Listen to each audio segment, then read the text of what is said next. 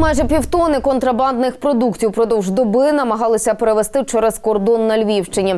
Так у пункті пропуску Шегині Медика громадянин України приховав більш як 350 кілограмів прошуто італійського виробництва серед особистих речей у багажному відділенні та салоні автомобіля. Ще майже 50 кілограмів м'яса свинини митники знайшли у машині нашого співвітчизника у пункті пропуску Краковець Корчова.